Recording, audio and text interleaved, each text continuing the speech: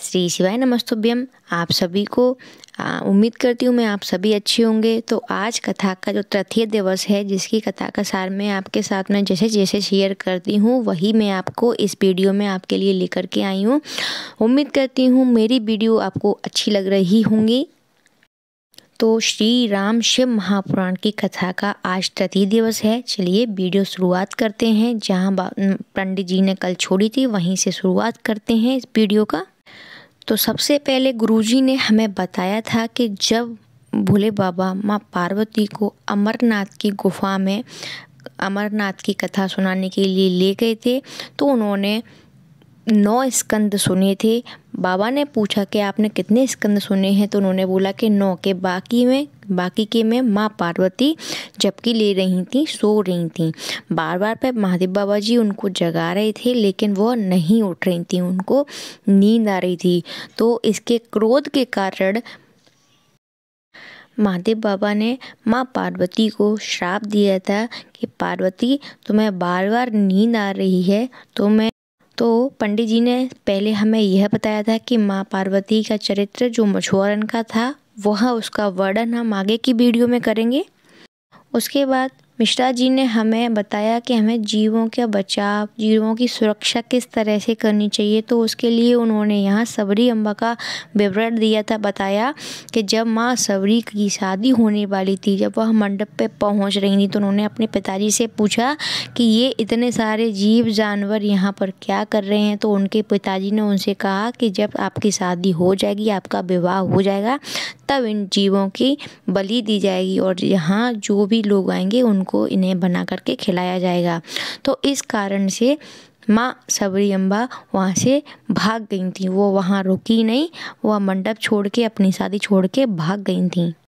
तो जब वह वहाँ से भागी तो वह एक आश्रम में पहुँची और वहाँ के आश्रम में पहुँचने के बाद उन्होंने मातंग बाबा को सब कुछ बताया कि जीवों की हत्या होनी थी, मैं उनको मरते हुए ऐसे नहीं देख सकती थी, वो मुझे सही नहीं लगा, इसलिए मैं वहाँ से भाग गई।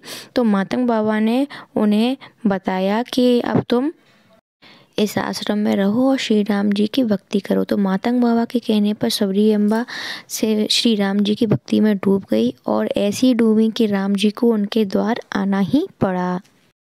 बोलो सियावर रामचंद्र की जय।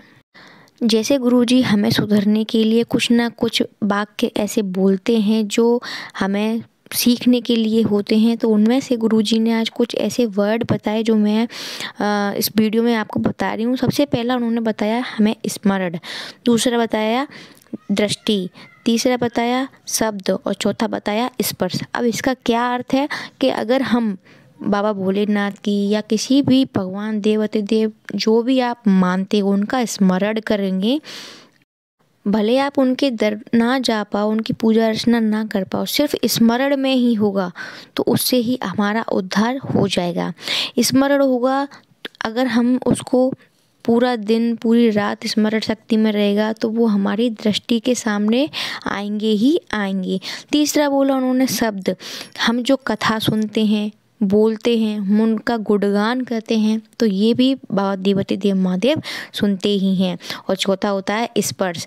अगर हम बाबा के मंदिर पहुँच जाते हैं, शिवालय पहुँच जाते हैं, उनको स्पर्श कर लेते हैं तो अगर हम इन चारों चीज़ों में से अगर एक भी चीज़ धारण कर लेते हैं तो हमारा उद्धार होना निश्चित ही होता है। हमें बाबा देव देव महादेव या हम जिसकी भक्ति करते हैं, वह हमें दर्शन देते ही देते हैं। लेकिन स्मरण या दृष्टि या शब्द या स्पर्श हमारा प्रबल होना चाहिए। इसमें किसी भी तरह का अभिमान ना हो, ये हमें ज़रूर ध्यान में रखना चाहिए। अब बात कर लेते हैं पत्र की। एक पत्र आया था जिसमें जो सीहोर ही पहुँचा था, उसमें एक स्त्री ने पूछा कि हम अगर अपना कार्य बाबा के यहाँ करवाने के लिए जा रहे हैं जब हमारा कार्य है तो हम बाबा को क्या दें अपना कार्य करवाने के लिए?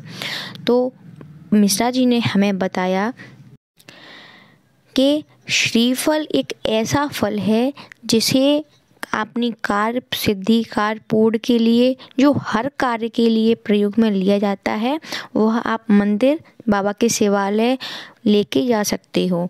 और हर एक देवी देवता, हर एक जन्म से लेकर के मृत्यु तक श्रीफल जो है वो हमें दिया ही रहता है मतलब हमारे पास होता ही है। श्रीफल एक ऐसा फल है जो हमें जन्म से लेकर के मृत्यु तक, अगर हम किसी गुरुजी को भी आमंत्रण, निमंत्रण देने के लिए जा रहे हैं तो वहाँ पे भी श्रीफल ही उनको दिया जाता है कि अब हमारे यहाँ पे कथा इन गुरुजी को करनी। अर्थात श्रीफल ही शिव का एक स्वरूप है। कथा में हमें बोला कि जब हम एक लोटा जल शिवलिंग पर चढ़ाते हैं, अर्पित करते हैं तो हम अगर बाबा से कुछ बोलें या ना बोलें, अगर वह जल हमारे घर से लेके जाया गया है तो बाबा स्वतः ही हमारे घर की सारी बातें जान जाते हैं।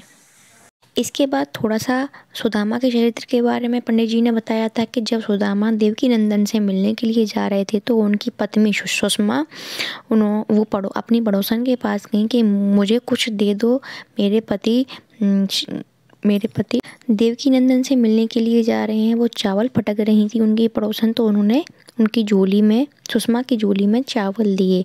जैसे ही चावल झोली में रखे तो झोली फट गई। तो सुषमा ने झोली के चार हिस्से करके उन चावलों को झोली में रखा और जैसे वो अपने घर के लिए जाती गई, आँखों से अश्रु बहते रहे और उन चावलों में टपकते रहे। तो और जाने के बाद, अपने घर पहुँचने के बाद सुदामा जी को दिए कि ये आप, तब वो समझ गए कि ये चावल इसके घर के नहीं हैं, क्या बात है। तो इस, सिर्फ़ इस कपड़ा देख करके ही श्री कृष्ण ने सुदामा को तीन लोग का राज्य दे दिया। अब बात करते हैं आहुक और आहुका की जो हमने कल छोड़ दिया था, गुरुजी ने कल छोड़ दी थी, वह कथा का प्रारंभ अब करते हैं आगे। उनने बताया कि इनका भजन जो था, वो बहुत प्रबल था, बहुत ज़्यादा प्रबल था। तो पार्वती मैया ने महादेव जी से कहा कि जाओ, तुम इनकी परीक्षा लेके आओ। तो जब महादेव जी इनकी परीक्षा लेने के लिए गए तो वह यतिनाथ महादेव, उनका नाम था, वह एक ब्राह्मण बन कर के गए। गुरुजी ने बताया कि हमारा पुष्टि मार्ग कहता है कि अगर कोई परम भगवतीय वैष्णव, जिसके माथे पर तिलक हो, गले में तुलसी की माला हो, अगर वह हमारे घर में आ जाता है तो उसी से हमारा उद्धार हो जाता है। गुरुजी ने बोला कि अमृत पीने वाले देव हैं और विष पीने वाले महादेव हैं। फिर भी सबसे ज़्यादा जो किसी कार्य के लिए पूछा जाता है तो वो महादेव के परिवार को और देव। अब जब बाबा भोलेनाथ यतिनाथ बन के आहू का, आहू के घर पहुँचे, जो कि एक, जो कि भील और बिल्ली थे, उनके यहाँ बाबा पहुँचे। तो जैसे ही बाबा वहाँ पहुँचे, उन्होंने दरवाज़ा बजाया तो घर पर उस समय सिर्फ़ आहूका थी। आहुक नहीं था। तब तब बाबा ने दरवाज़ा बजाया तो आहुका ने दरवाज़ा खोला और पूछा, आप कौन हैं स्वामी? आप कौन हो? आप कहाँ से आए हो? तो यतिनाथ महादेव जी ने कहा कि, मैं रास्ता भटक गया हूँ, अब रात्रि बहुत हो गई है। मैं आपके यहाँ विश्राम करना चाहता हूँ, रुकना चाहता हूँ। आहुका ने बोला कि, नहीं प्रभु, हमारे यहाँ, हमारा घर छोटा है। हम आपको कैसे रख सकते हैं? आप यहाँ कैसे रखोगे? हमारा घर बहुत ज़्यादा छोटा है। मैं आपके चरण धो देती हूँ, खाना खिला देती हूँ। आप थोड़ा विश्राम कर लो, लेकिन आप यहाँ नहीं रुक सकते। तो महादेव जी, बाबा ने बोला, यतिनाथ महादेव ने बोला कि नहीं मुझे तो यहाँ रुकना ही है। इतने में वहाँ आहुक पहुँच गया और उसने अपनी धर्म पत्नी की बात सुन ली। सुनने के बाद अतिथि देव से, यानी कि यतिनाथ महादेव से बोला, कोई बात नहीं, आप यहाँ रुक जाइए, आप अंदर सो जाना, मैं बाहर सो जाऊँगा। और मेरी पत्नी भी बाहर सो जाएगी। तो बाबा ने बोला कि नहीं, ये श्रेष्ठ नहीं है कि घर की स्त्री बाहर सोए। तो आहुक ने बोला, कोई बात नहीं है, लोगों का मुझे कोई मतलब नहीं है। मुझे आप पर भी पूर्ण भरोसा है और अपनी पत्नी पर भी पूर्ण भरोसा रात्रि हो गई थी, आहूक को नींद नहीं आ रही थी। अंदर आहुका और बाबा यतिनाथ सो रहे थे। आहुक भ्रमण करने लगा था रात में। तो वहाँ पर एक बेड सुगर आ गया। रात्रि में उसने आहू पर हमला कर दिया और वो उसको खा गया। उसको नोच नोच के खा गया। जब सुबह हुई तो उसकी पत्नी आहू का उठी। उसने देखा बाहर जा गई। आहूका ने बाहर जा कर के देखा कि मेरा पति तो मरा हुआ पड़ा है। इसको कोई तितर तितर करके खा गया है। कोई जंगली सूकर इसको खा गया है। वह रो रो कर अंदर गई और बाबा यतिनाथ को जगाया। उस समय तक बाबा यतिनाथ महादेव नहीं जगे थे, क्योंकि यह उनकी लीला थी, क्योंकि वह इनकी परीक्षा ले रहे थे। वह नहीं उठे। उसके बाद उसने जगाने पर, आहूका के जगाने पर बाबा उठे और बाहर देखा कि वह आहू मरा हुआ पड़ा है। तो बाबा ने आहूका से बोला कि मेरे कारणवश आपका पति आपके पास नहीं रहा। तब आहूका बोली कि नहीं, आपके कारण से नहीं। ये तो जो ललाट पर लिखा के आए हैं, वही इतना ही जीवन था, इसलिए वो यहाँ तक ही जीवित रहे। अब बस आप एक कृपा मेरे ऊपर कर दीजिए। तब महादेव जी ने पूछा कि क्या चाहिए आपको? तो उन्होंने कहा कि जी ये मेरे जो पति के जो हिस्से बचे हैं, उनको लाइए अग्नि दे दीजिए। मैं अपने पति के साथ ही सती होना चाहती हूँ। जब अग्नि दी जाने लगी, वह सती होने के लिए लाश पर, चिता पर बैठ गई। तब अग्नि देने के लिए वहाँ पर सिर्फ़ बाबा ही थे। जो बाबा पाँच क्षण के लिए आग के सामने समक्ष बैठे, वह अपने असली स्वरूप यतिनाथ महादेव के रूप में आ गए और उन्होंने कहा, आप दोनों खड़े हो जाइए।